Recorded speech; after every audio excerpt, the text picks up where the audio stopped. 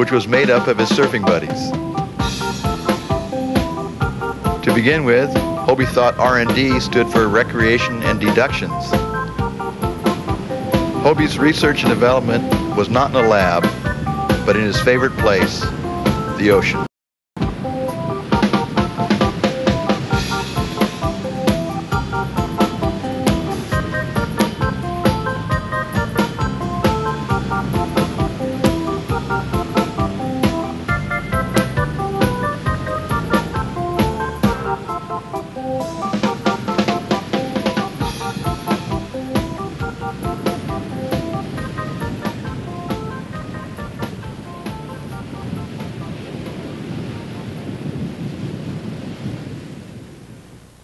In 1971, the Hobie 16 was introduced and quickly became the second most popular sailboat in the world. Today, it is the most popular sailboat in the world. The 16-footer was similar in design to the 14, but with a second sail, a hiking trapeze, and built for two people. Here's Hobie and Phil Edwards doing some R&D.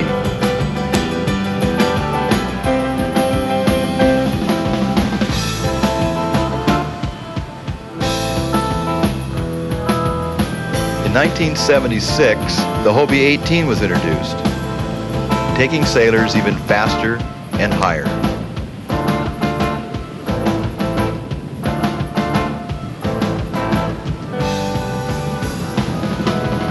In this case, R&D stands for risk and danger.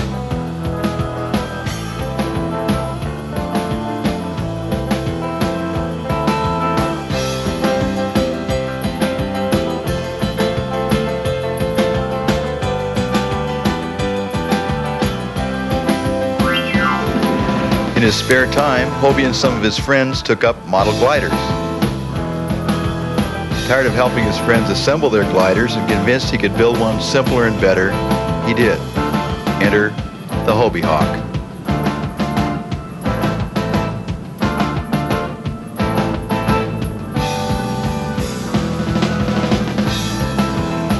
In 1981, after selling over 150,000 catamarans, Hobie designed and built a 33-foot monohull.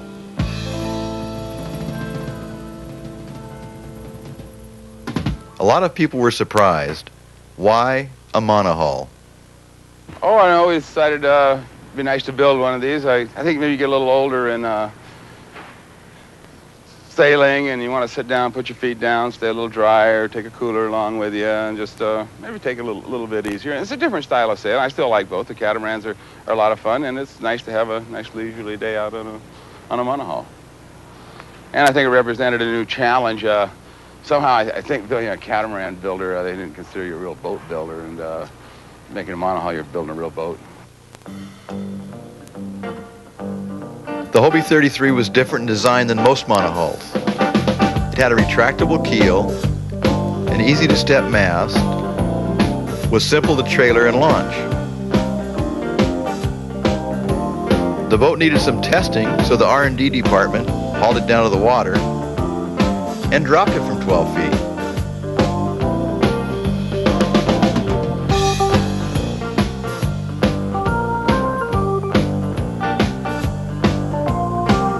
Hobie's designs and tests are almost always simple and to the point. Here's Crash, cruising around a little while later, no leaks. In 1984, Hobie Cat designers John Wake and Phil Edwards came up with a Power Skiff. It was great for fishing, water skiing, or just plain cruising.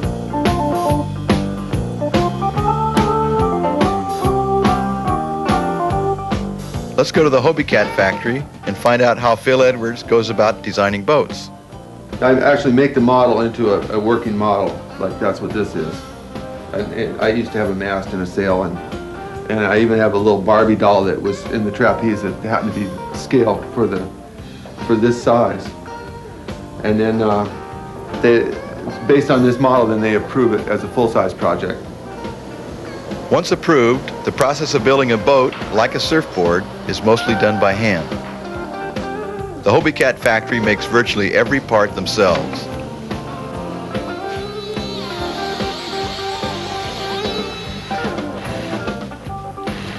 The boats are assembled and disassembled to make sure everything fits.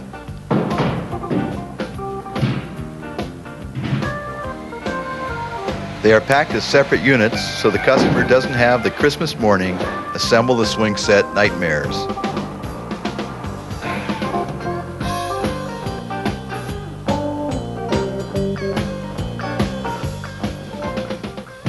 The Hobie 17 was introduced in 1985. It was a high-tech version of the original 14-footer. A single-man boat featuring retractable dagger boards, hiking racks, and vertical cut mylar sails. Like its predecessors, it was fun and fast. But it does take some wind.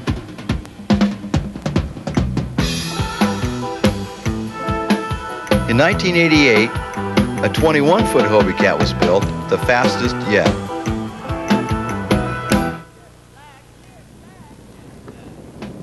The Hobie 21 was chosen Boat of the Year by Sail Magazine. It was one of two boats selected to compete in the newly formed Professional Sailing Series, a series of boat races where they compete for $500,000 in prize money. This is one of the events held on San Francisco Bay.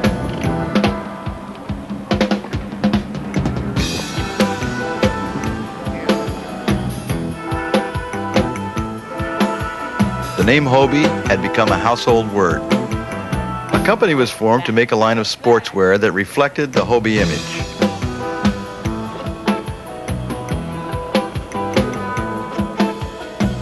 Hobie Apparel uses the latest manufacturing technology and delivers some of the most innovative fashions.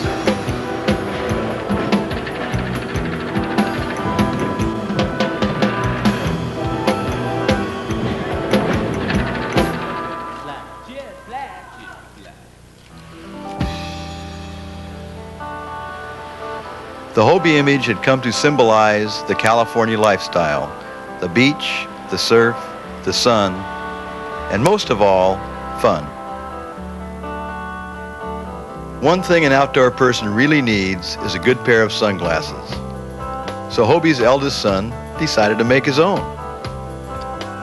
He developed optically perfect glass lenses laminated with a polarizing film to cut out 100% of the sun's ultraviolet rays.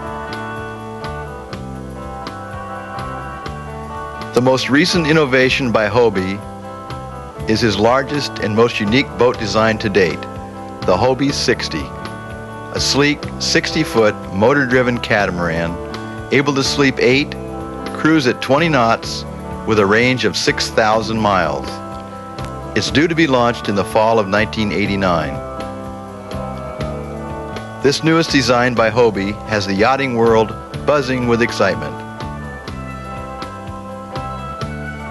After everything he'd built to date, why a 60-foot power catamaran?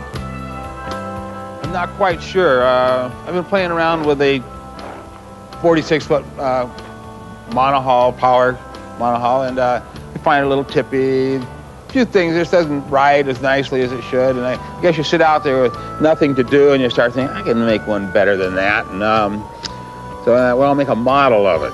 So I made a model, and that'll get it out of my system, and I'll kind of like the model. I thought, well, maybe we'd really like a real one. And so uh, two and a half years later and a couple of bucks, um, here we are.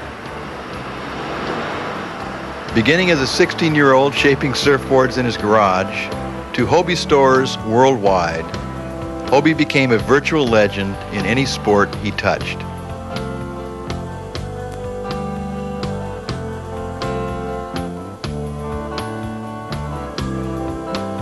What next? It's pretty corny, but Hobie loves to try and build a better mousetrap. I'm glad I'm not a mouse.